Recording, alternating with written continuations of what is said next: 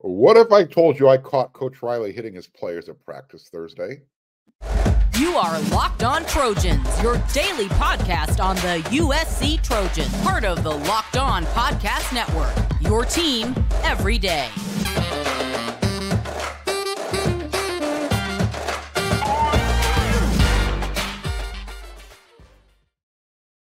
Fight on, everyone. I'm your host, Mark Holkin, and thank you for making Locked On USC, part of the Locked On Network, your first listen every day. Whether you're watching the show on YouTube or wherever you want to download your podcast, this show is free. I really do appreciate your support. This episode is brought to you by Nissan. Are you the kind of driver that likes to push things a little further? Ever wonder what adventure could be around the next corner? On Armada and go find your next big adventure. Check them all out today at nissanusa.com. All right, before everybody starts reporting Lincoln Riley, relax, calm down. I'll get to that in a second. Team was back at practice Thursday afternoon, spring camp, practice number five.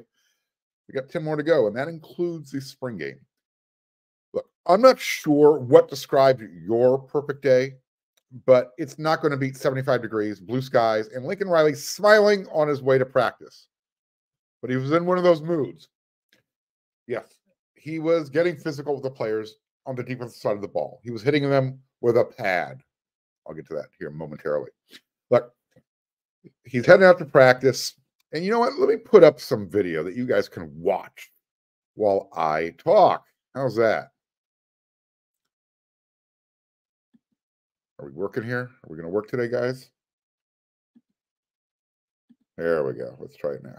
There we go. All right. Technical difficulties here. I apologize. So you can see the players coming through. I'll do some net narration while you're watching. Um, again, when Lincoln Riley comes out, says hello to the media, he's got this big smile on his face. You know the Cheshire cat smile?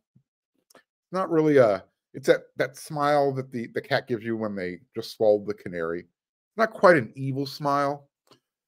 Um, it's that kind of smile if you have a younger brother or even an older brother who would, you know, look at you funny, smile, and all of a sudden give you a smack on the head before they run off the other direction. That's what that's the kind of smile that Lincoln Riley had. I, like I said, he's been really involved on the defensive side of the ball, at least for the first part of practice that the media gets to watch. Uh, really focus on those defensive groups. So he had that smile. He gets to practice. He puts on those one of those yellow um, blocking pads, and I'm watching him smack the players. You know, they're going through some drills, and he was getting into it. He was, he was having a lot of fun getting physical, hitting the players. So, uh, again, nothing nefarious. I'm going to get that out of the way. and you'll probably see it shortly on YouTube when we go to the next segment. Um, you'll you'll see some of the drill work that's going through. You can see Coach Eric Henderson walking up there, all cardinal blinged out. He's also wearing some Oakley shades. I think that's going to be a new thing, that new fad. Check it out. As you can see, the team coming up. They're in full pads on uh, on Thursday. Offense wears Cardinal. Uh, special teams as well. Defense is wearing the white jerseys. You can see a few of the defensive guys coming up there. And as these guys are coming out, when you're watching the video, check out the freshman duo, Elijah Newby, Cameron Fountain. One of the traditions uh, when you're on your way to practice as a player, as a coach, you can see Anthony Jones there doing it for us. You tap the Trojan sword. Well, most players make the effort just a simple grab at the handle as they walk on by.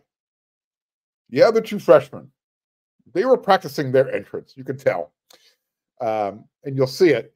They're they're kind of going through their, I don't know, celebratory uh, handshake type of thing before they touch it. You got Mason Cobb, Elijah Hughes, and Jide Abasiri. There's uh, some young defensive linemen there what I like about this, so you see those guys go through their routine. Right behind them, you have a you know redshirt junior, I think, uh, fourth year player John Humphrey, the cornerback transfer from UCLA. He just does it the old fashioned way, touching up on the uh, Trojan sword. what I what you get out of this type of thing is you see the personalities of the players. They they start to come out, and you hear little things. And sometimes they want you to hear things. They'll say things that they want you to report about. Cooper Lovelace, notorious for that. um, oh, here's an interesting note on Eric Henderson. One USC staffer told me that uh, he heard Eric Henderson say, quote, he's going to recruit the greatest USC defensive line in the history of USC. My response, dear God, from his lips to your ears before I die. I want to see that happen. There you saw it. Fountain, Newby, Humphrey doing their thing. Denis Lynch, uh, he had a rough season in 2023. He, look, he was really good from deep, three for three from 50 yards plus, right? He struggled with the chip shots. But no matter what, I love when he comes up on his way to practice. He makes sure to show the proper respect to the All American wall. And he he touches up on each plaque of the players that he's played with during his time at USC. Occasionally, you'll see players heading back into the locker room uh, after they've made their way out to practice. It's usually because they've, you know, they forgot to bring out a knee brace or you know knee pads, something that they know they're supposed to bring with them. This time, I'm watching backup punter kicker uh, Garth White, number 98. He's going back to the locker room, and when he reemerges, he's got a couple of those black kickoff tees that the kickers use. I'm thinking, how did you forget those? How does that happen? You've got one tool. Anyways. Oh, by the way, you'll notice the helmets. Some of them have the red foam, uh, padded foams, the red foam pads on top. Um, the ones that don't, you'll notice nobody yet has been gold plated on their helmets. Uh, this is also going to be a very big um, recruiting weekend. Four star linebacker Matai Tagoai. Uh, he was on an, his second unofficial visit this week at USC. Look, he's not really big, but he's fast. And when you look at his frame, uh, he's got the type of frame that you can add the type of weight that the staff wants. He's like, what, 6'1, 6'2, about 170 pounds, 190 pounds, maybe. But um, it wasn't that long ago that the, the prospect from San Clemente wasn't sure if USC was a place for him allegedly. Isaiah Raikes, number two, big dude. Um, but then Coach Matt Entz arrived, Coach Eric Henderson, D'Anton Lynn, coaching staff change on the defense side of the ball. Everything changed. I would not be surprised if he recruits, excuse me, if he, if he commits this weekend, because I, I believe he'll be uh, attending practice on Saturday as well. Um, so not he wasn't the only prospect on campus. There was a 2027 uh, guy, defensive lineman Jameer Henry. He's from Detroit, Michigan. Oh, check out Caleb Williams, Jacoby Lane. Um, one of the uh, USC paparazzi guys. They asked one of them, if both of them, if they would uh, give a quick shout out to the women of Troy who are playing up in the Sweet 16 up in Portland. Uh, Caleb said, "You know what, Jacoby, it's your turn. Take over. It's your team now." Speaking of this recruiting weekend, uh, there's going to be close to 700 coaches on campus for Lincoln Riley's coaching clinic. And they're going to have to get a really big tent out there because the uh, weather forecast is rain again. I asked Annie, Annie Hanson, I said, do they make a tent big enough for 700 coaches? Anyways, last weekend when they got those commitments, um, the rain didn't seem to hold anything back. So it worked one time, it'll work again. So, as I said on yesterday's episode of Locked on USC, I dare this coaching staff to repeat their performance from a weekend ago. Make it happen. I challenge you. I threw down the gauntlet. Caleb Williams, Calen Bullock, Keon Bars, they were all hanging out watching practice. I mentioned Caleb and Jacoby. You saw them. By the way, number 71, if you can see him, that's Jason Zandamela, future center for USC big boy. Deuce Robinson, yeah, he was uh he was pulling a double header on Thursday. Football first, then baseball. Uh, I don't know what time the actual baseball game started. I do know they won in a walk-off fashion, but when practice ended close to five o'clock, The team bus was still an hour and a half away from taking them down to Irvine. First pitch, 6:30 p.m. Good luck. The laws of nature, laws of physics saying they weren't going to be on time. Uh, I pointed out Isaiah Raikes on uh, when he was coming in heading to practice. On he he talked after practice, and he, this was his decision to transfer to USC. I knew their defense had a need for defensive linemen, and I wanted to come into somewhere where I felt like I could make a difference right away. Once I found out they were hiring Coach Lynn, that was definitely a big factor. Close quote. You know who else was at practice? Remember uh, wide receiver Kyle Ford? I'm going to talk about that in the third segment in my Friday rant. It has nothing to do with Kyle. I'm not ranting about Kyle. I'm ranting about the situation regarding Kyle. Um, so we showed up to practice, and I look. I've known Kyle since he was in high school. Gave him, you know, we each gave each other the bro hug, and I asked him, "Hey, are you using your mulligan? You coming back to USC?" I asked him that question that way because he likes to golf in his in his spare time, so he knew exactly what I was saying. Basically, he just laughed it off, and uh, I didn't find out the answer. But it is curious why was he hanging out of practice? He is in the transfer portal. Keep that in mind. I really do hope that he finds a place to play, though. I just don't know if he would have a role here at USC, not unless he's willing to battle those four younger wide receivers um, who did not leave the team unexpectedly a year ago. Still like Kyle a lot. Good dude. Uh, oh, during uh, one of the defensive back drills, uh, the safety combination, I noticed this, and I should probably hold this over to the second segment. I'll get out of the way now. Akili Arnold, Kamari Ramsey, and Prophet Brown. Um, Prophet Brown was the nickel in that trio. Akili and Kamari, uh, the safety combination. I asked Akili after practice, you know, where are you mainly um,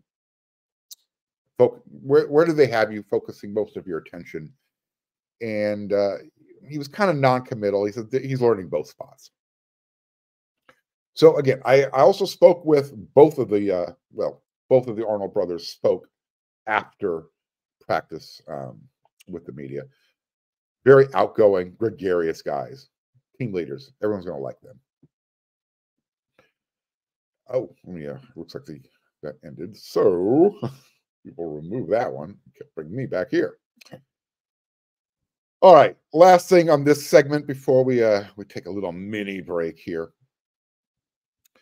Um, I asked Kamari Ramsey after practice, you know, about going through the slow install for a second time. And here's what he had to say. He his answer was, "Look, I act like I'm learning the defense for the first time. I don't try and act like I know everything." Uh, he, he, said he also loves the knowledge that Coach Mays is bringing to the safety room. I asked him specifically. I said, "You know, what does Taylor bring?" And he got a big smile on his face, like learning a lot from that guy. He's a legend. All right, I got more from spring camp segment two coming up, but first, let's do this.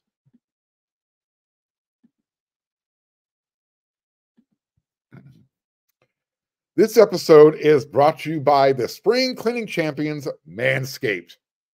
This season, make sure to groom your carpets and the drapes with the leaders in below the waist grooming.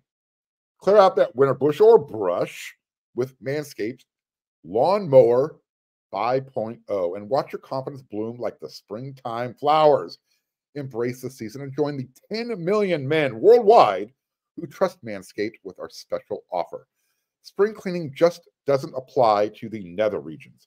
Get the full grooming experience with Manscaped's signature Beard Hedger Pro Kit, plus the Handyman Electric Face Shaver. Whether you're looking to craft your signature look or clean up that neckline, these are always the right tools for the job. Go to manscaped.com and use code locked on for 20% off plus free shipping. Get 20% off and free shipping with code locked on at manscaped.com. That's 20% off and free shipping with the code locked on at manscaped.com. Nothing like a little spring cleaning in your pants. Is your bracket already busted? Tired of the same old daily fantasy grind where you make a roster, cross your fingers, and then hope for the best? Or losing on the last leg of your pick entry? Introducing Bettor Together, the first co- cooperative daily fantasy platform where teamwork triumphs talent and you can play with your friends, not against them. Pick more or less on real time player stats, strategize with your partner to boost your odds, and climb the leaderboard together. So grab a friend and join the social DFS movement. Download Bettor Together now from the App Store and sign up using promo code Locked On for a free $5 entry into any NCAA basketball contest. Remember the code Locked On because winning alone is fun, but it's better together.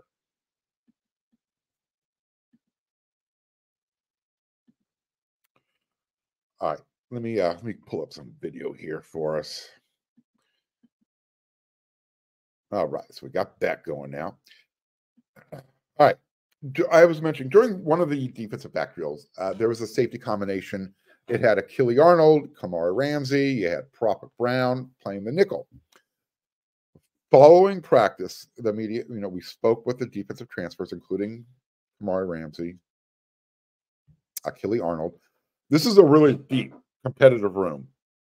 And I, I spoke to them about that, um, specifically Akili. And he's like, yeah, you know what?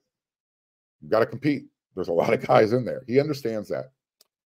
Um, and I brought it up because, you know, he's he's taking a, a risk coming from Oregon State down to USC when you've got as many safeties in that room as there is. So I think that's going to be an interesting room to watch throughout spring camp as well through the summer into fall camp. We're going to keep an eye on that. The defensive backs were working really hard on their backpedaling drills. You're going to see it. I'm going to try to describe it now before it gets there. Um, you can see Woody Marks right now working with Anthony Jones. If you're watching on YouTube, they're uh, taking kickoffs. But the defensive backs, excuse me, it was kind of like watching a barbershop's quartet jump into the song at just the right time. So you had the guys lined up along the sideline. One defensive back would jump in and start backpedaling five to 10 yards and then sprint back to the sideline. He would do the same thing, but the next guy in line would do that. So it was like, if you know how a barber uh, barbershop quartet song goes, everybody jumps in and they have their own chorus. It's that kind of it's that kind of routine. You'll see it pop up. One guy starts, second guy jumps in, third guy jumps in. Eventually, you've got four guys doing the routine, but it's kind of like a staggered chorus line. You'll see it, you'll understand. It, it's really a test of endurance. And look, the other thing, the practice field is not in the greatest shape. Guys are losing their footing, slipping a lot. I don't know if they didn't have the right cleats on or if it was just that part of the field. It seemed like everybody was slipping when they got to the sideline.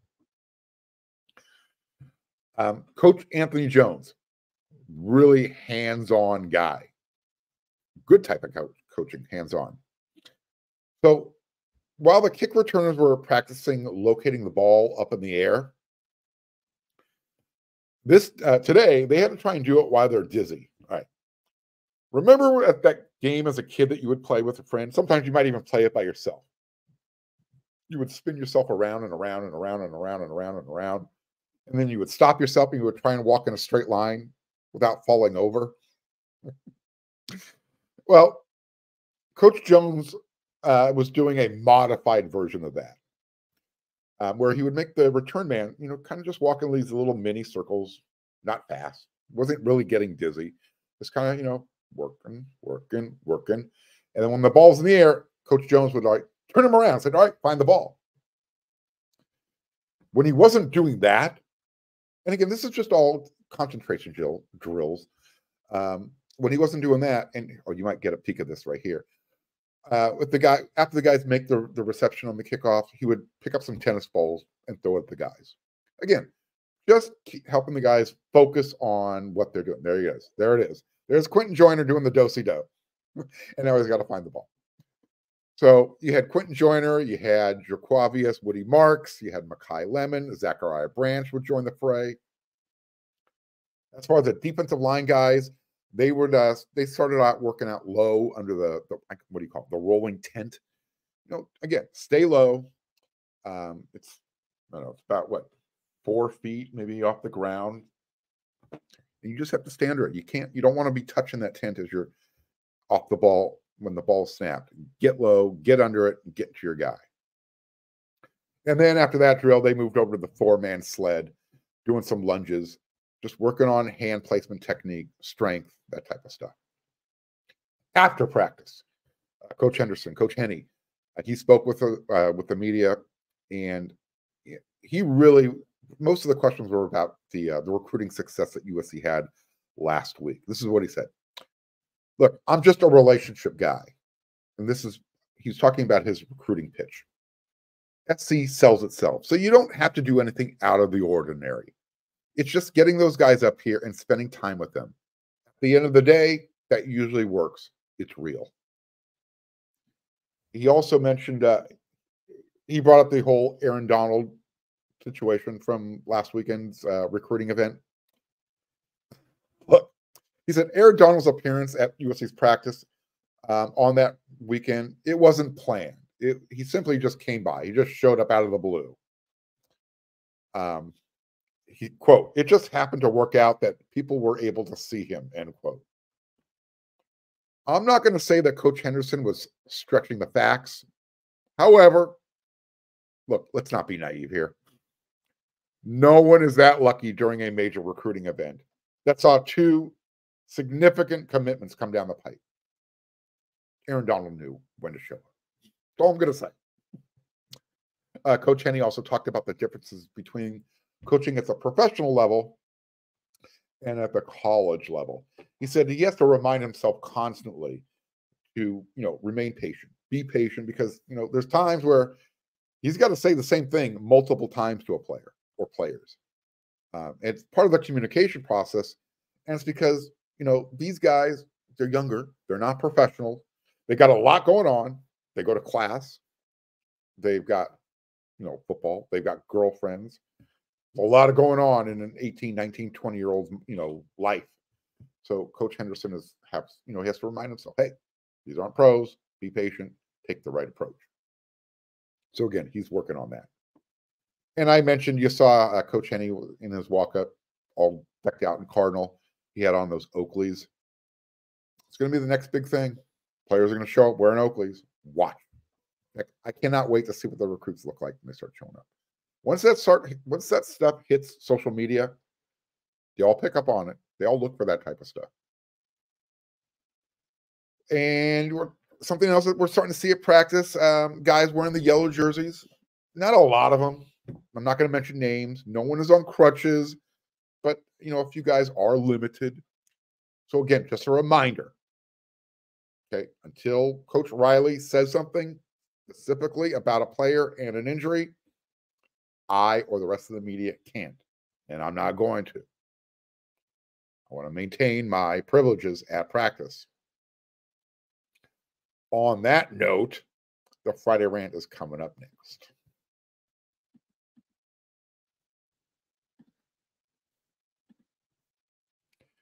This week's March Madness bracket is uh, highlight is brought to you by our friends at Nissan. Each week, we're picking one team that stands out, a team that's pushed it further than the rest, just like any of the all new 2024 Nissan SUVs.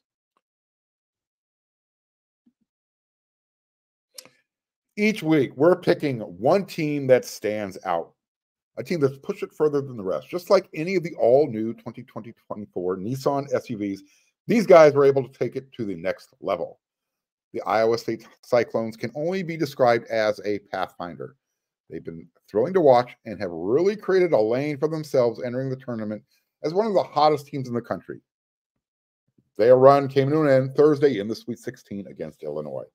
Take the Nissan Rogue, the Nissan Pathfinder, or the Nissan Armada and go find your next big adventure. Shop nissanusa.com. All